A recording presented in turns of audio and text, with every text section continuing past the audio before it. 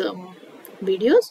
So now questions are show the validity of the following arguments. So all these first five uh, we can show using the previous method but by using the rules of inference as I have told uh, the rules of inference reduces the number of steps uh, than the number of uh, rows in the truth table method when the number of variables in the expression are more. So now here uh, for 6-1 show that the argument is invalid. So when such question comes, uh, it show the uh, argument is invalid, you have to show with a counter example. So that is here we consider that the premises are true and uh, we arrive at uh, the conclusion is false. So if the argument is invalid then not of r is 0 which is false. So not of r is 0 which implies r is 1. So now given that P implies Q implies R is true. So all these we are considering these premises are true.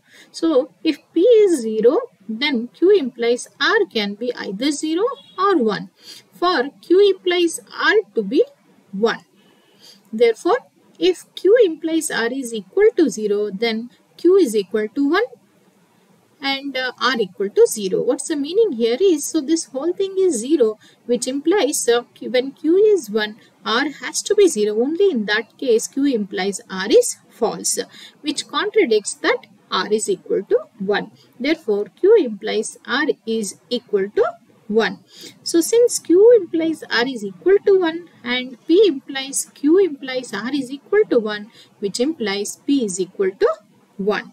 So this is 1 and therefore for this whole thing to be 1 p has to be 1 since p and not of q is 1 therefore not of q will be equal to 1 which implies q is 0 so therefore when p is equal to 1 q is equal to 0 r is equal to z 1 the premises are all these uh, three uh, two premises are true but the conclusion is false.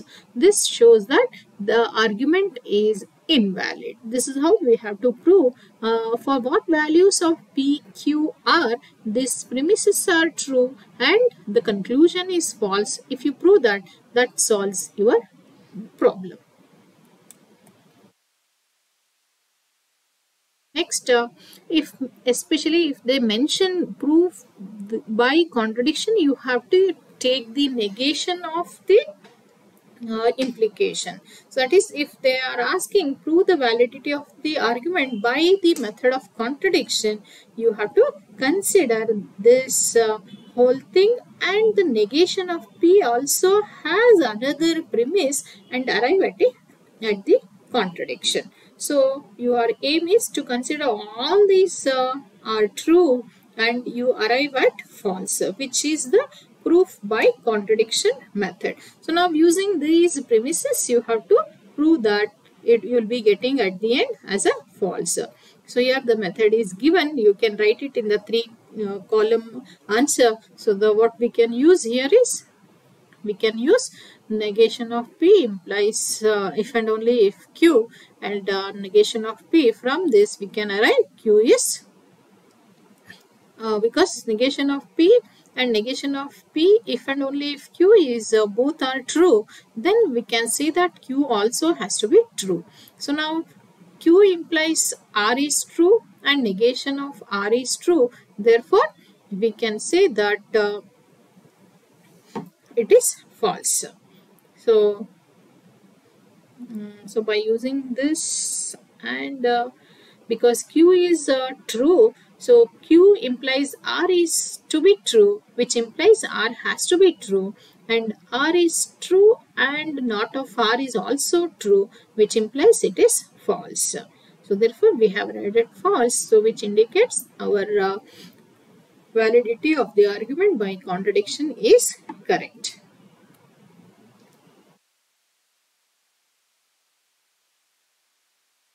Next again another one show the validity of the argument. If they are not specified what technique you are supposed to use, then you can use any method. So what is the speciality of this problem here is, here given these premises and you can observe the conclusion is also an implication when such thing happens what we can do here is when the conclusion is true so you can consider the conclusions uh, uh, left hand side as another premise and you have to arrive at uh, the right hand side of the conclusion. So this is a procedure you have to use when uh, your conclusion is an implication. So now again like a normal uh, proof you can prove it uh, to arrive at P by considering Q as another hypothesis. So this again you can write it using three column table. Now how do we prove that an argument is invalid? So now here the method is just find a counter example of assignments for it.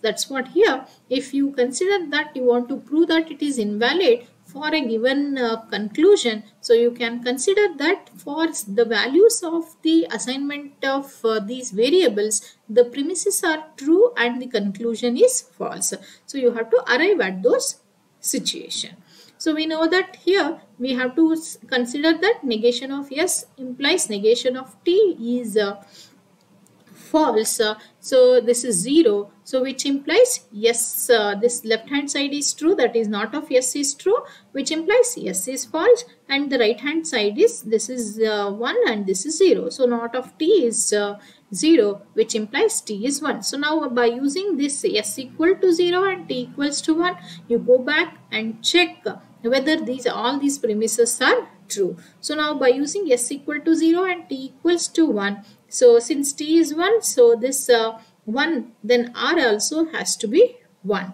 So now since R is known, S is known, T is known, we have to find out what is the value of P and Q. So R is 1 which implies uh, this is 1 and S is 0. So this is uh, 0. So when this is 0, so the left hand side Q also has to be 0 for the whole implication to be 0. So Q will become 0. So now we have S value, T value, R value and Q value. So now q value is 0. So for p or q to be true, p also has to be 1. So this is the way we have to get the proof by counter example that is disproof by counter example. Now we need to determine the truth values of the following. First one, if 3 plus 4 is 12, then 3 plus 2 is equal to 6. So now let us consider P as 3 plus 4 is 12. Q as 3 plus 2 is equal to 6. Here both P and Q are false. 3 plus 4 is not 12 and uh, 3 plus 2 is not 6. So both are false. So therefore P implies Q is true.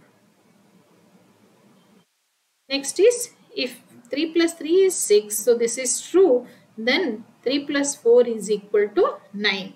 So the left hand side, uh, side is uh, of the implication is true. Then the 3 plus 4 is this is false. So therefore the P implies Q is false. The next one, if Thomas Jefferson was the third president of US, then 2 plus 3 is equal to 5. So now P is Thomas Jefferson was the third president of US, Q is 2 plus 3 is 5. And since 2 plus 3 is uh, uh, equal to 5 is true, then Q is true. So when Q is true, P implies Q is independent of P is true. Now let us see other, some other examples. Determine all truth value assignments, if any, for the primitive statements P, Q, R, S, T, which makes the compound statement false. So now we know that the compound statement is an implication. So the implication is false only when the premises is true and the conclusion is false. So which indicates that P implies Q is to be false when P is equal to 1, Q equal to 0. Therefore, S or T is false which implies S is 0 as well as T is 0.